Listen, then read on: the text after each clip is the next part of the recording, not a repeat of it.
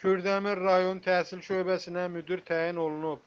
BİQ Azın məlumatına görə təyinat Təhsil Nazirliyinin 143 drop 17 nömrəli razılıq məktubu və Kürdəmir rayon İcra Hakimiyyətinin başçısı Ceyhun Cəfərovun 20 iyul 2020-ci il 128 nömrəli sərəncamı ilə reallaşdırılıb.